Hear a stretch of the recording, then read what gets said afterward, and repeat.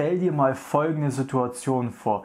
Du könntest mit deinem jetzigen Wissen und auch Erfahrung in die Vergangenheit zurückreisen. Was würdest du tun? Am besten wäre es, sich Millionen von Bitcoins für einen Stückpreis von wenigen Cents zu kaufen und die dann beim All-Time-High dann später zu verkaufen. Wenn ich diese Möglichkeit hätte, dann würde ich besonders bei meiner Ernährungsumstellung viele Sachen jetzt nun anders machen, damit diese einfacher, geschmeidiger und reibungsloser verläuft.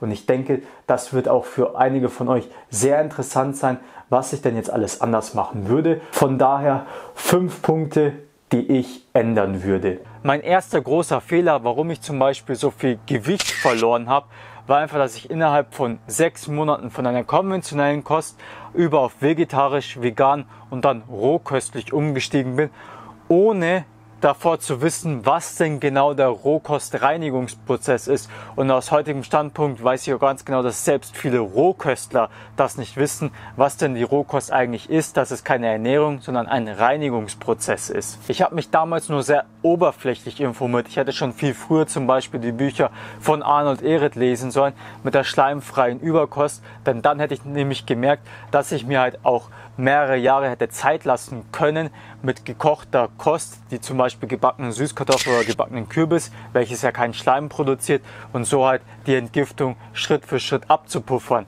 Ich hätte auch mir Zeit gelassen mit dem Intervallfasten oder auch mit dem vielen Fasten gleich am Anfang. Ich hätte mir auch viel mehr Zeit gelassen, damit ich nicht unter Stress und Druck neben meinem Studium auch noch von Fleisch, von Milchprodukten, auch von Getreide wegzubekommen.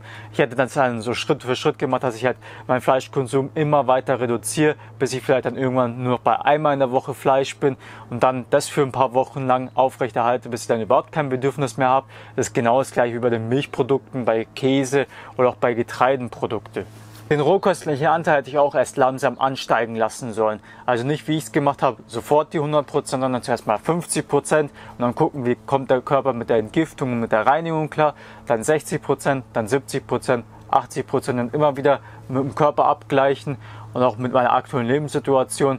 Wie kommt denn ich und mein Körper damit klar? Ein weiterer fataler Fehler von mir war, dass ich zu viel Obst am Anfang gegessen habe.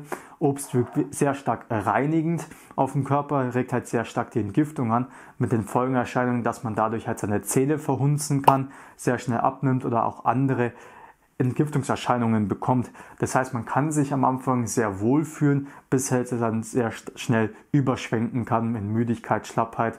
Zum Beispiel der Ashton Kutscher ist nach zwei Wochen im Krankenhaus gelandet aufgrund einer frutarischen Diät. Ich würde das Obst-Gemüse-Verhältnis besonders in den Anfängen so gestalten, dass man vielleicht 10 bis 20 Prozent Obst in seiner Ernährung integriert und 80 Prozent grünes Blattgemüse und das dann mit der Zeit, wenn man die Rohkostreinigung weitergeht, hat den Obstanteil immer weiter ansteigen lässt und den Gemüseanteil äh, reduziert, je nachdem, in welcher Lebenssituation man sich auch befindet. Und sehr wichtig, ich habe am Anfang auch sehr viele Trockenfrüchte gegessen, habe sie manchmal eingeweicht, manchmal nicht, je nachdem, wie ich halt gerade drauf war, ob ich faul war oder ob ich überhaupt Zeit dafür hatte.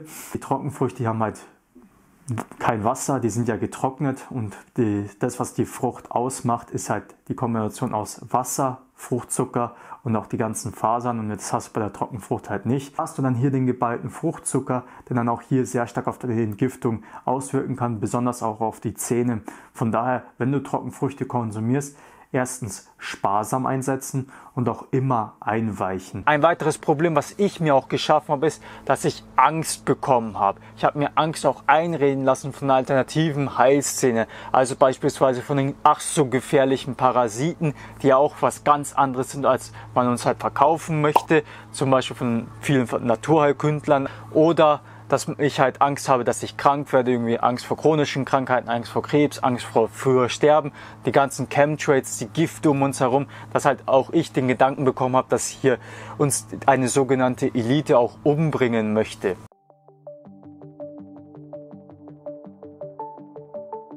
Und wer sich jetzt mit Marketing und Verkaufsmaschen auskennt, weiß, dass auch Angst ein we wesentlicher Treiber ist, um halt auch beispielsweise Produkte zu verkaufen.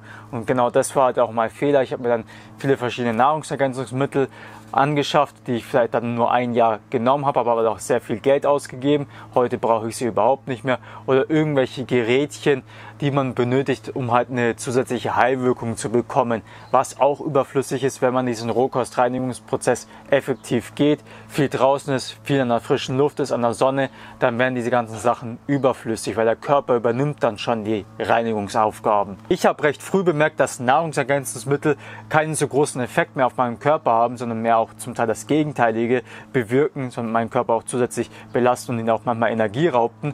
Und ich halt einfach bemerkt habe, dass man halt hier ein großes Geschäft hat. Genau das gleiche wie mit den Parasitenkuren, dass halt hier auch sehr viele Sachen mitverkauft werden, die es eigentlich so gar nicht benötigt, wenn man, wie gesagt, sich anständig ernährt, vielleicht auch sein eigenes Obst und Gemüse anbaut, viel Sport macht, an der frischen Luft ist, ausreichend Schlaf hat, sind das halt die wesentlichen Grundsteine für eine optimale Gesundheit. Wird aber immer so verkauft mit den Slogans, man muss halt diese Nahrungsergänzungsmittel nutzen, weil die meisten Menschen sind ja krank und die meisten Menschen leiden an Parasiten. Man muss das unbedingt nehmen, um halt hier wieder ein besseres Wohlbefinden zu bekommen.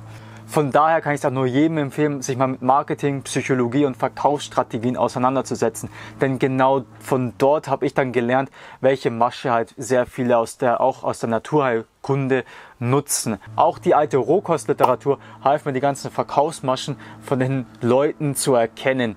Also hier habe ich zum Beispiel sehr viel Arnold Ehret gelesen, Dr. Norman Walker, die Schriften von der Naturalhygiene, Galina Shatalova, die ganzen Bücher findet ihr zum Beispiel auf meinem Literaturverzeichnis, werde ich auch unten in der Videobeschreibung auch nochmal zusätzlich verlinken. Wer da Interesse hat, das sind sehr wertvolle Bücher, die man schon gelesen haben sollte, wenn man auf dem Weg der Rohkostreinigung ist, weil man dann sehr viele Sachen enttarnt, die halt heutzutage als gesund deklariert werden.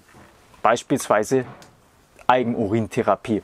Ich hätte mir auch viel früher einen Mentor suchen können, der hätte zum Beispiel meinen Absturz verhindern können, weil der halt schon seit mehreren Erfahrungen zum Beispiel im Rohkostbereich Erfahrung hat, die ganzen Entgiftungskrisen schon durchgemacht hat und genau weiß, was zu tun ist, was man in den Anfängen am besten machen sollte und so weiter. Der hätte mich dann viel besser angeleitet. Ich hätte auch viel schneller den Prozess dann durchlaufen können und auch viel solider, ohne dass halt irgendwie ich die ganzen Fehler nochmal machen muss, obwohl er sie schon gemacht hat. Ich kenne auch andere Leute, die haben dann über mehrere Jahre hinweg, vier, fünf, sechs Jahre, alles Mögliche ausprobiert, sämtliche Fehler gemacht und dann sind sie letztlich doch an den Standpunkt gekommen, wenn sie auf diesen einen Mentor oder diesen einen Rohköstler gehört hätten, der schon seit 20 Jahren Erfahrung hat. Der Mentor ist der erste Schritt für ein anderes soziales Umfeld.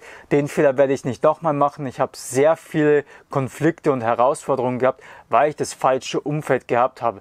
Leute, die mir halt immer wieder was anderes eingeredet haben, die mir schlecht geredet haben für das, was ich gerade auch mache, sei es jetzt unabhängig davon, ob ich die Rohkost mache oder auch Permakultur, gab immer wieder Kritik, Auseinandersetzungen, hat einfach nur unnötig Stress verursacht, Konflikte und auch Energie gezogen, die Energie, die ich einfach dafür hätte nutzen können, um meinen Rohkostreinigungsprozess weiter voranzubringen. Weiterer Vorteil von einem Umfeld ist, dass ihr zum Beispiel gemeinsam fasten könnt. Ihr könnt euch gegenseitig austauschen und auch so schnelle Herausforderungen und Probleme auch lösen und gemeinsam wachsen.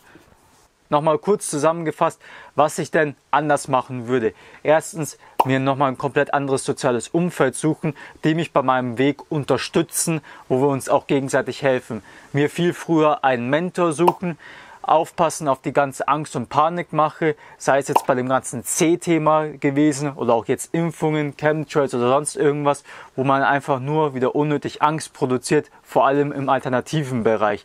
Dann natürlich auch die ganzen Verkaufsmaschen und Verkaufsstrategien, das ganze Marketing darum und auch viel früher sich auch mit Psychologie beschäftigen, finde ich sogar wichtig, wichtiger, anstelle dass man sich so früh schon mit Esoterik beispielsweise beschäftigt. Dann sich noch ausreichend informieren, beispielsweise mit der alten Rohkostliteratur und sich auch viel mehr Zeit lassen für die Umstellung. Ein Jahre oder zwei Jahre, wo man immer mal wieder gedämpfte Süßkartoffeln oder gedämpfte Kürbisse mit einbaut und Schritt für Schritt den Körper an den Rohkostreinigungsprozess gewöhnt und auch die Entgiftung wie ein Ventil langsam öffnen.